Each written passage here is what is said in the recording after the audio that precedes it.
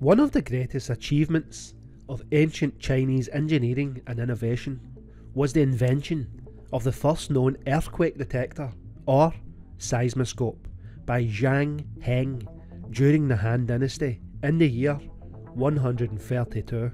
This remarkable device was not only a testament to ancient scientific ingenuity, but also an important milestone in humanity's understanding of seismic activity.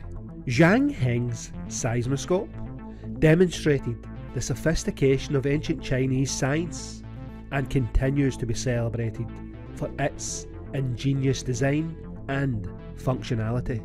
Wait to hear this. Zhang Heng was a polymath of extraordinary talent.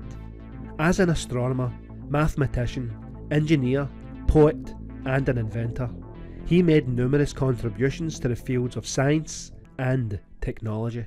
He lived during the Eastern Han Dynasty and served as an official at imperial court where his intellectual pursuits gained recognition. His seismoscope was designed to address a critical need, detecting earthquakes to inform government officials, enabling them to provide timely relief to affected regions. The seismoscope was a large, bronze vessel approximately 6 feet in diameter, shaped like an urn or a barrel. The device was ornately decorated with eight dragon heads arranged around its circumference, each holding a small ball in its mouth. Below each dragon head was a bronze toad with its mouth open, ready to catch the ball. Inside the device, a central pendulum or weighted mechanism was designed to respond to ground vibrations caused by seismic waves. So when an earthquake occurred, the internal mechanism would tilt in the direction of the seismic waves, causing one of the dragon heads to release its ball into the corresponding toad's mouth. The direction in which the ball dropped indicated the location of the earthquake's epicentre relative to the seismoscope. Zhang Heng's seismoscope was revolutionary because it was capable of detecting earthquakes from great distances. Ancient Chinese records suggest that this device could sense tremors that were not perceptible to humans, making it an early example of a highly sensitive seismic instrument. One famous account demonstrates its effectiveness. The seismoscope reportedly detected an earthquake in the western region of Longxi, modern day Gansu province, even though no tremors were felt in the capital, Luoyang, where the device was located. Days later, a messenger arrived from the Longxi confirming that an earthquake had indeed occurred. Although the exact internal workings of Zhang Heng's seismoscope remain a mystery, Due to the loss of the original blueprints, modern reconstructions suggest it relied on principles of inertia and momentum. The central pendulum or inverted pendulum mechanism would shift in response to seismic vibrations, triggering the release of the ball. The seismoscope was a practical tool for the Han Dynasty government, enabling officials to identify and respond to earthquakes quickly. This was an essential task in a vast empire where earthquakes often caused destruction and loss of life. Zhang Heng's invention reflects the importance of science and technology in addressing societal challenges, even in ancient times. The seismoscope's design principles laid the groundwork for modern seismology. Though rudimentary compared to today's highly advanced seismographs, it marked the first recorded attempt to create a device specifically for detecting and analysing seismic activity.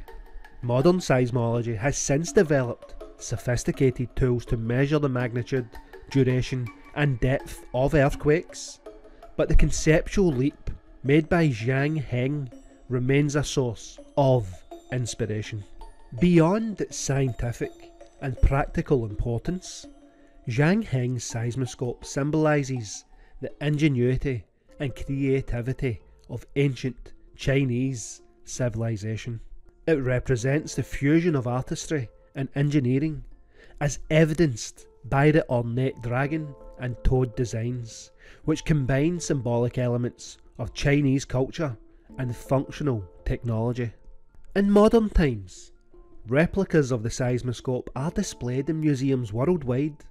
This is a tribute to Zhang Heng's genius.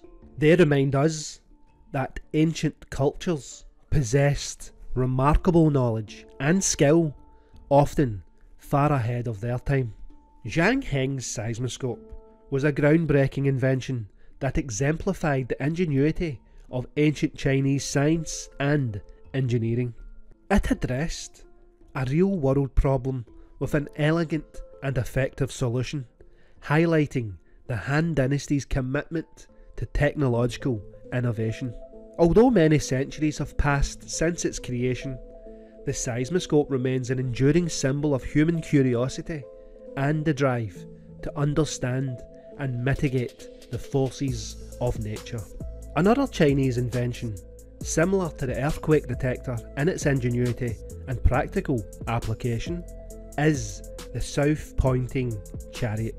This device, invented during the Three Kingdoms period, is often credited to the brilliant engineer and inventor Ma Jun, although earlier prototypes may have existed.